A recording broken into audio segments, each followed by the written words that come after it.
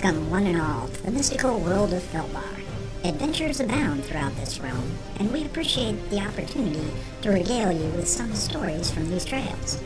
These accounts are all based on actual RPG experiences that occurred within Adventures in Filbar. Some of these tales may be for mature audiences, while others may be for very immature audiences. We now present the sage Mikas Tumo from Tamel, also known as the Bard of Filbar. Welcome to session Fartook 103.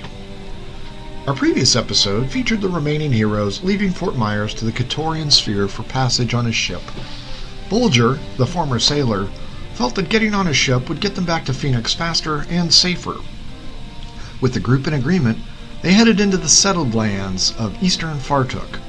After half a day's ride, the party learned of some more Greycloaks causing problems locally. Cabe Silvertongue, still reeling from the loss of Karina, interacted with the farmer and offered to deal with the situation. We rejoin them now as the tavern patrons look quizzically at the half elf. so, you're telling me you want to deal with these jerks and don't like them? inquired the farmer to the bard. Silently, Cabe nodded one time. And you're going to give me gold to tell you where they were headed? Again, the half elf's head dipped. The farmer grunted in amusement and replied that two had a deal. Cabe returned his weapon to its scabbard and withdrew a handful of coins as promised and spilled them across the table. The farmer gathered around with his friends and gasped in amazement, with the one picking up a coin and biting it with his teeth. Mister, they're headed to the archives of Steinhauser, about an hour away. Something about some information that the monks have at that location? The Greycloaks look pretty pissed that there are more of them than you, exclaimed the farmer. Directions, replied the very grim and determined bard. The farmer's associate Boris stepped up and gave a rather detailed explanation as to where the monastery could be located. Fargus dropped a few more coins for the waitress as the others stood up from the table and joined their associate. Cabe put out his hand and thanked the two men for their cooperation before walking out the door without a word. The rest of the group quickly followed as well. Mounting their horses, the group sped off to the southeast in search of their foes. Five minutes into the quickened journey, Lady Irena caught up to the grim bard and complained loudly at his insistence for revenge. She peppered him about sticking to the original plan and getting back to Phoenix until Cabe yanked on the reins of his horse for a prompt stop. The others caught up and formed a semicircle around the pair. Biting his lower lip and shaking his head, the exasperated bard gathered his thoughts and displayed a look of anger in his eyes. Look, he began. We are still going to Phoenix, but I will tell you this now, and in no uncertain terms. Any chance I get to deal with these rogue knights, I will. I am not giving them a break. I am not giving them quarter. These assholes wander the countryside, bullying people to take what does not belong to them. They took Karina from us, and now it is my time. My time for vengeance. If you do not wish to accompany me, I will not try and stop you from leaving. These gray cloaks are a scourge. They are a blight to all decent folk. I, for one, am tired of their arrogant attitudes. These people want to pick on people? They can pick on me. I'll happily go to my grave dealing with these scum. With Cabe and Irena staring at each other, the tension was broken with a low whistle from Bulger, the squat gnome. Turning to Fargus, the former sailor pointed out to Cabe and pointed out that he wanted to go ten to one with these jerks. Fargus looked down in disbelief at Bulger, as he apparently wanted to make fun of the half elf who turned away from the mage to angrily stare at the shortest companion. Bulger scratched his neck and returned the gaze to the bard.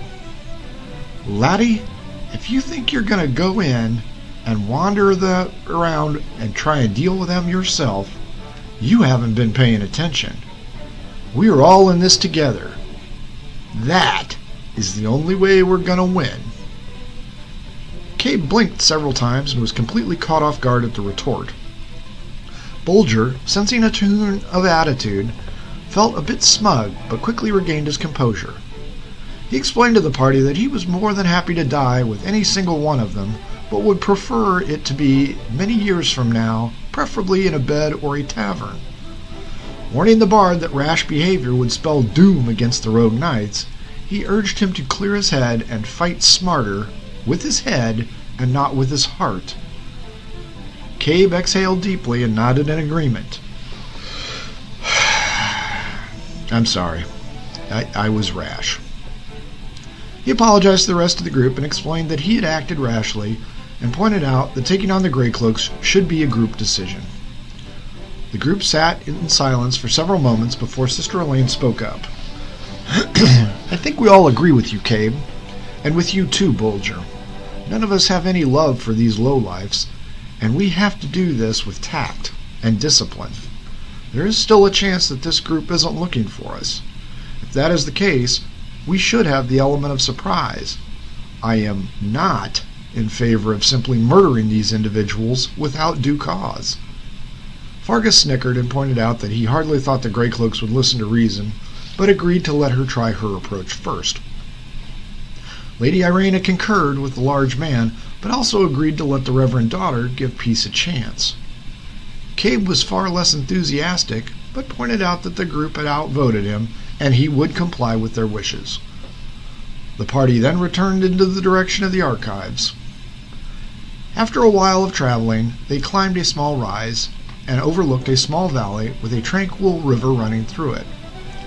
Farm fields surrounded an adobe-esque looking building near the river, about an eighth of a mile away. A gasp escaped Sister Elaine as the group noticed carnage in the meadow below.